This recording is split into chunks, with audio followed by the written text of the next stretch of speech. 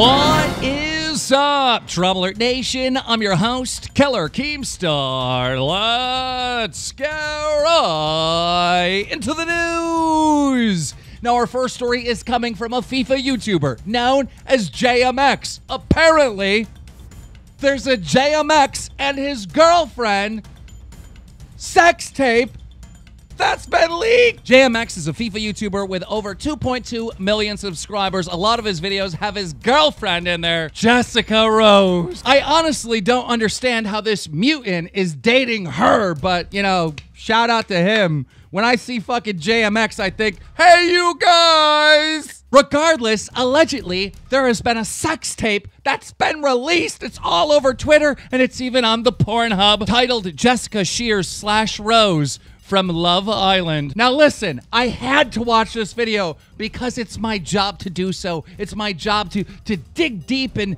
in, in, into the dark corners of the internet to report to you the truth. And let me tell you something about this video. One, very poor lighting, and two, the, the, the, the, little tiny little little little penis. JMX responded to these allegations with a video titled the strip FIFA goes too far. The truth behind Jess's sex tape. And in the video, he claims that it is not him. But when JMX says that it's not him in the video, he says it very like uh, I don't know, like sarcastically. Again, like I said, the lighting is poor. I don't know 100% if it is Jessica, if it is JMX, but uh oh.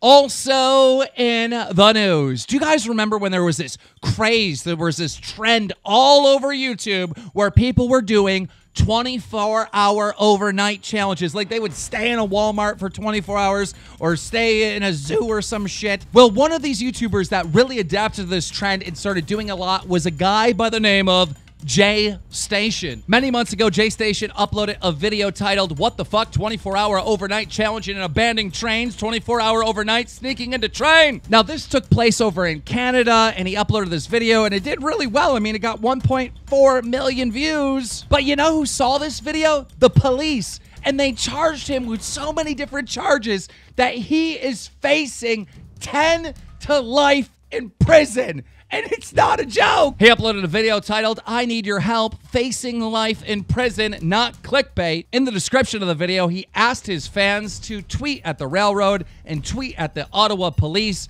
begging them to drop the charges. Now, this is the absolute worst of JayStation's legal problems, but he has even more charges for other 24 hour challenges that he's doing. This dude is I, he, he's going to be in jail, bro. And look, man, I understand that you're going out there and you're trying to do edgy stuff for YouTube fame, but guys, please don't break the fucking law, dude. Just just don't break the law. I personally think what they're doing to JayStation is extreme, but like they're going to find him guilty. There's no way they can find him innocent. He literally recorded the whole thing and uploaded it to YouTube, and 1.4 million people seen it. So he's in he's in big trouble. Also in the news, yesterday we reported that RiceGum came out with a diss track on Jake Paul. And apparently, Jake Paul is copyright claiming his videos. RiceGum tweeted out, Wow, I was about to drop the video, and this greedy motherfucker keeps trying to claim my video and take my money. Now, that tweet since has been deleted. I reached out to RiceGum to find out exactly what happened. He told me that his video was flagged by Jake Paul, but it was like automated. Jake Paul didn't do it personally. And once Jake Paul found out, he removed the flag. So this issue is resolved. And now for our final story. Uh, about a year ago, Colossal is Crazy uploaded a video on FouseyTube. It was named one of the best exposed videos ever. Uh, Colossal did it like a documentary. It got praised throughout all the community. Then FouseyTube false flagged the video and stole the money from the video. There's an update on this, and I'm happy that I was able to link Clown and FouseyTube up. But FouseyTube did reach out to Colossal is Crazy, and he paid him for the money that was taken with the copyright claim. Colossal is Crazy tweeted out, You should know that FouseyTube paid me back what the video made when he claimed it. I still stand by the video, but thank him for that. I must say, FouseyTube, uh, I don't know how many months ago this was, but when you uploaded the video and you apologized to everyone, I kind of thought you were full of shit, but I was willing to give you a second chance, and I'm glad that I did because you seem to be fixing a lot of the the the, beefs and stuff that you were involved in, and you've been doing the right thing, and I I have to applaud FouseyTube for that. And now for our final final story. The mainstream media made an article about me, and I didn't even read the article, but I must say the Verge is fucking hilarious. This is the thumbnail they used for their fucking article.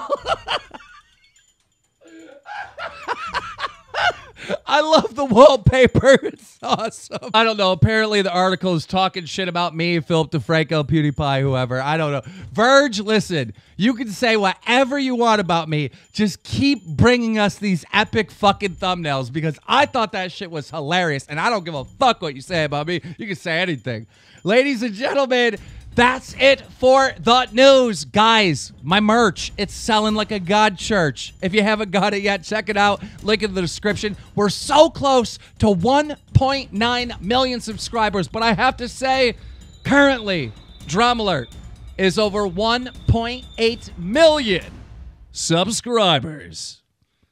I'm better at Microsoft Paint than The Verge.